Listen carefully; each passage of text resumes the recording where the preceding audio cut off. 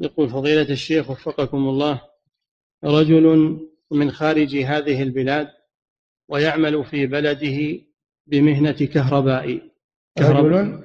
رجل من خارج هذه البلاد ويعمل في بلاده بمهنة كهربائي للمباني.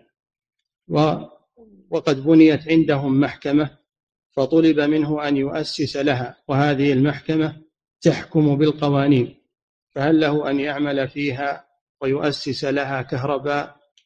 الله يتجنبها أحسن ما دامت أنها بيت للشر وللمعصية تجنبها لا يساعدهم عليه نعم.